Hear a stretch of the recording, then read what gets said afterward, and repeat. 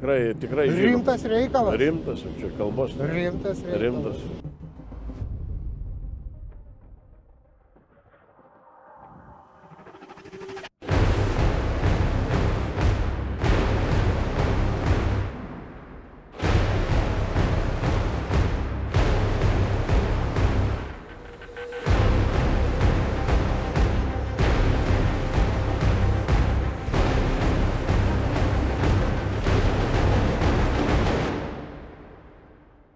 Gromiter mašinų yra.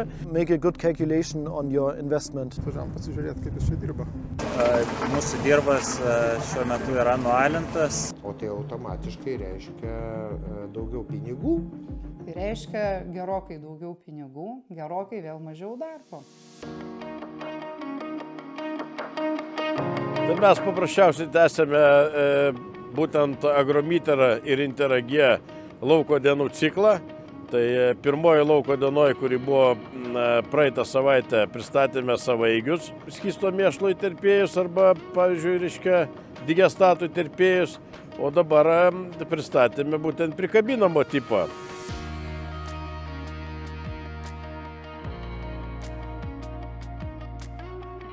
Tai čia mes pademonstravome prikabinamo tipo agromiterą e, įterpėję kartu sukomplektuota m, su e, diskiniu, e, diskinio tipo kultivatorium. Ir e, šiandien mums pavyko pademonstruoti ūkininkam būtent kaip jinai dirba. Skirta, sakyčiau, vidutinio dydžio, nu, galbūt ir iš dalies dideliems ūkiams, ten, kur turi ūkiai įterpti maždaug apie 60-70 tūkstančių kubinių metrų turimos frakcijos. Ir ši technologija yra dėl ko įdomi ir unikali. Tai yra dėl to, kad mes paprasčiausiai esame lengvesni ir skistą frakciją mes paduodame žarnų pagalba. Ir tuo pasiekoje galime vėlgi įterpinėti norimus kiekius, tiksliai įterpinėti. Ir mes nelaužome aplinkinių, tarkime, kelių, o tiesiog dirbame lauku.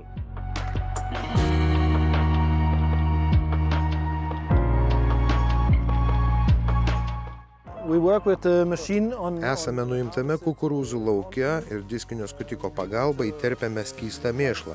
Mūsų technologija ypatinga tuo, kad siurblio pagalba per žarnas paduodame digestatą į mūsų įterpėją ir įterpiame jį į dirbą, paruošdami ją sėjai.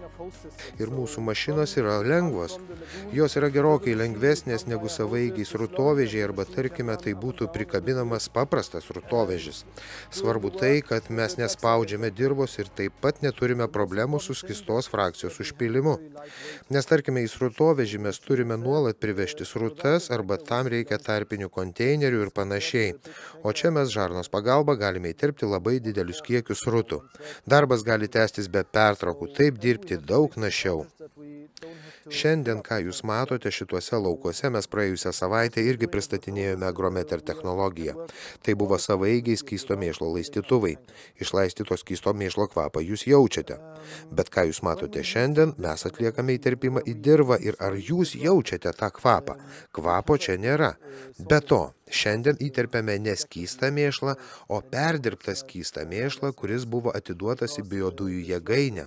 Todėl tai digestatas. Bet kadangi terpimas vyksta apie 15 cm gylyje, jūs taip pat nejaučiate jokio kvapo. Kas dėl kvapų, tai tarkime Vokietijoje ar Danijoje į lagūną arba rezervuarą yra pilama tam tikra rūgštis, kuri neutralizuoja kvapą. Ir ta bekvapė masė paduodama. Kol kas tokių reikalavimų mes neturime, bet tokios technologijos yra. Tam, kad jums pasiskaičiuotų atsiperkamumas ir nauda, tokiai mašinai, kurią matote šiandien, jums reikėtų per metus įterpti apie 60-70 tūkstančių kubinių metrų, o jeigu su savaigiu laistytuvu, tai nuo 80 tūkstančių iki 90 tūkstančių metrų, kad jums pradėtų ta nauda atsirasti ir vertėtų daryti tokio dydžio investiciją. Žinoma, pasinaudojus ES parama, techniką gali įsigyti ir mažesnio dydžio ūkiai. Tai yra, jie gali ramiai investuoti ir vėliau dirbti našiai. Dabar mes pumpuojame iš maždaug 500 metrų atstumo. Per valandą pumpuojame maždaug 190 kubinių metrų. Padargo plotis yra 8,5 metro. Įterpinėjame apie 70 kubinių metrų į hektarą. Tai yra labai didelis kiekis. patys įvertinkite, kad įterpėjas yra tikrai našus, tvirtas. Tai Vokietijos gamintojo Volmer įterpėjas.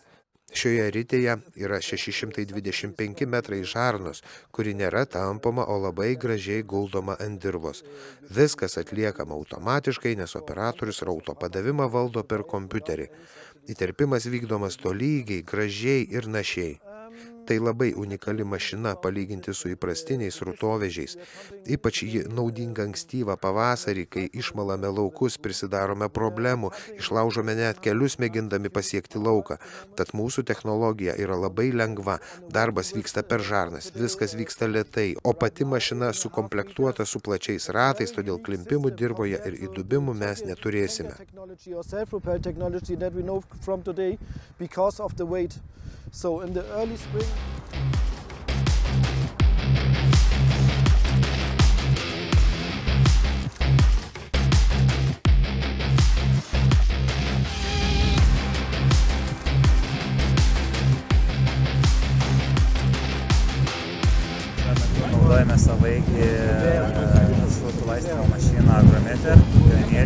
Esame labai patenkinti, nes labai tikrai naši technika. Atliekam daug paslaugos ūkininkams.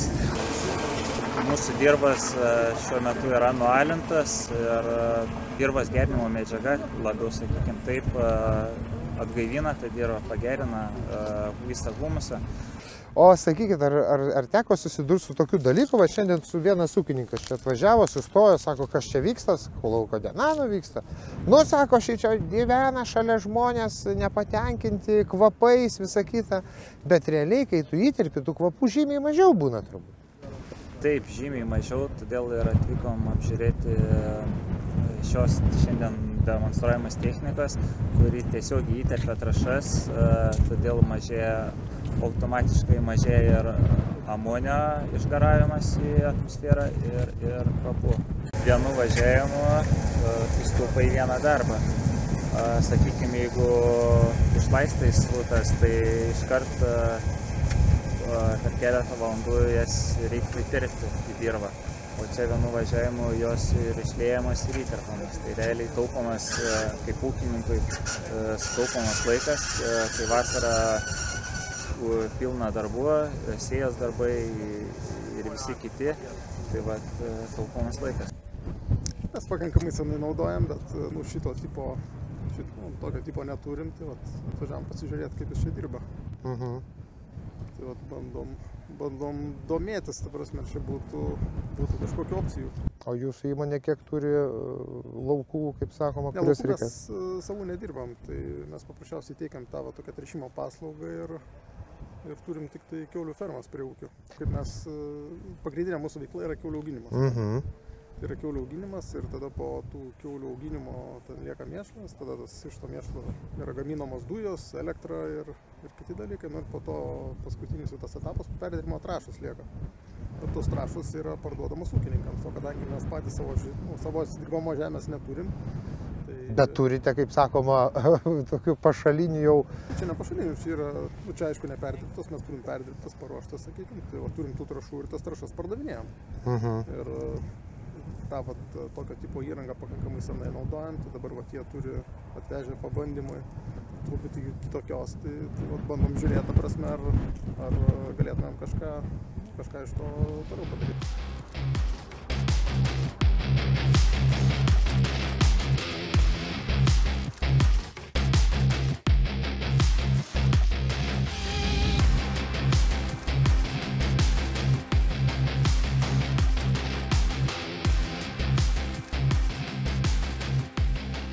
Su šia technologija, tarkime, su viena stotelė arba su tarpiniam stotelė mes galim dirbti net iki 8-12 km atstumais. Tai e, aš nesakau, kad kiekvienas ūkininkas turėtų nusipirkti tokį, bet tarkime, e, susikooperavę keli arba būtent tos įmonės, kurios susima, reiškia, paslauga tokia, tai tikrai galėtų e, gelbėti ūkininkus toje situacijoje, būtent e, pri- tik tais pertendamos e, dizelinę stotelę, kuri šios ši- dienos lauko dienoje yra irgi demonstruojama. Ir e, jos pagalba perdavinėti skistą frakciją į laukus. Ir traktorius su šiuo įterpėju dirbtų laukose paprasčiausiai jis būtų daug lengvesnis negu įprastinis trutovežis ir netgi ir ganėtinai šlapiom sąlygom galima dirbti su šią technologiją. Ir ko mes išvengiam, tai tokių dalykų kaip vežiojimas, transportavimas, būtent drėgnų, o reiškia drėgnomis sąlygomis, kuomet mes važinėjom per laukus, minam juos, reiškia taip pat laužom aplinkelius ir, ir, ir, ir keliukus, kurie yra į tuos laukus. Tai mes būtent galime aptarnauti kelis ūkius, būtent šių žarnų pagalba ir mes galim keliauti į vieną pusę 5 km ar 8 km, į kitą 12 km ir tiesiog nutestami transportinės žarnas. Netgi ir, kai sako, žinot, negalim pas mus keliai ten arba, reiškia, žvyrkeliai. Tai yra įvairūs variantai. Mažesnių ūkių ar vidutinio dydžio ūkių, reiškia, lagūnos, jeigu jos būna, na, nu, 4-8 tūkstančių kubinių metrų arba ten rezervuarai, tai tarkim, tokius, reiškia, ūkius galima e, drąsiai kelis, 4, 5, 6, reiškia, ir daugiau aptarnauti priklausomai nuo, reiškia, išpilamos frakcijos į laukus. Tai ši technologija tikrai galėtų gelbėti tokiuose atvejuose, kaip yra drėgnos sąlygos, lėtingos sąlygos, kaip lagūnos yra persipylę, kaip neina su srutovežiu, vien tik transportuoti jau yra iššūkis, o įvažiavusi lauką traktorius pilnai iki ašių reiškia. Tai ūkininkai dalinosi nuotraukomis, kaip įstrigę iki... Kadangi, nu įsivaizduokit, sąstatas įvažiuoja, reiškia vien tik tais srutovežis, jeigu kokiu 30 kubų, tai jisai automatiškai sveria su traktorium grubiai apie 50 tonų, mūsų technologija yra 20 kelios tonos ir yra paskirstyta įdomiai tuo, kad, reiškia, tarkim, tas prikabinamas mūsų SRS įrenginys įsiplatina hidrauliškai jo, reiškia, ašis, tai mes e, nesekam traktoriaus būtent to, tom pačiom vėžiam. Tai tampa, kad traktorius keliauja savo vėžiom, šitas, reiškia, būtent įrengimas keliauja savo vežiom. Ir taip mes e, neslegiam dirbos ir įtirpinėjom. Aišku, jeigu bus jau tokios sąlygos, kurių e, kritiškai, reiškia, nu, tarkim, būna tokių, jau, tai ten jau matomai joks padargas neįvažiuos. Apsilankėm Berčiūnų žemės ūkio bendrovėje, kurioje laikoma apie 700 melžiamų karvių. Ūkis turi apie 300 hektarų pievų ir apie 250 hektarų kukurūzų. Berčiūnų žemės ūkio bendrovė per metus generuoja apie 50 tūkstančių kubinių metrų srutų. Mes turim savo eigį, kuris yra iš tikrųjų jau naudojama antri metai. Du metai tiksliau jau naudojam ūkį, tai aš jau net neįsivaizduoju, kaip galėtume mes e, vykdyti darbus be šitos visos sistemos, e, našios be galo ir, ir, ir sakykime, E, daug nereikalaujančios žmogiškų išteklių. Tai yra vienas žmogus, kuris padeda išsivinioti ir susivinioti žarnas, e, o, o operatorius dirba vienas, kuris gali į, jeigu ap, apskritą parą dirbtum, tai faktiškai netoli 3000 kubų per parą galėtumėm iš, iš, išpilti. Mes turime 6 km žarnų, nuo lagūnų ir, ir pakankamai našiai, greitai tos darbus padarom ir tai daro minimaliai mm, žmonių. Papasakokite, kodėl svarbu yra investuoti į našesnį įrangą, į dar kažkur tai ūkiui. Kodėl tai svarbu plačiaja Plačiaja prasme yra labai svarbu dėl to investuoti, kad kad iš tikrųjų mažiau pavargstame, mažiau varginam savo žmonės, kurie iš tikrųjų yra atsidavę ūkiui ir naujų rasti jau tokių turbūt nebepavyks. Tai mes turėtumėm iš tikrųjų lengvinti e, tą kasdienybę, kad mažiau pavargtumėm ir daugiau padarytumėm. Tai ką dėl to padarė, pavyzdžiui, Berčiūnų tai, žemės? Tikrai bendrovė. labai daug padarėm, tai melžiam karvės karusėliai. Žinau, kad separatorių instaliavo. Taip, turim separatorių. Kadangi mūsų separatorius yra su pasterizatorium, tai mes e, atgal negražinam, sakykime, mikroorganizmų, kurie, sakykime, sukeltų lygas tai valdoma situacija su somatiniam ląstelėm, sakykime, su išoriniais sukėlėjais. Ar pagerėjo ta situacija, tarkim? Akivaizdžiai. Akivaizdžiai. Akivaizdžiai, tai sakykime, nuo to vidurkio, geometrinio vidurkio, kuris sukėsi netoli 300, tai sumažėjo somatinių ląstelių iki pusantro šimto ir, ir žemiau. O tai automatiškai reiškia daugiau pinigų? Tai reiškia gerokai daugiau pinigų, gerokai vėl mažiau darbo. Tai aš taip suprantu, kad ten tas Bauer separatorius pas jūs instaliuotas. Taip. Dabar kaip tik yra paskelbti šaukimai ES paramai. Ir ten ir smulkus ūkiai, ir labai smulkus ūkiai.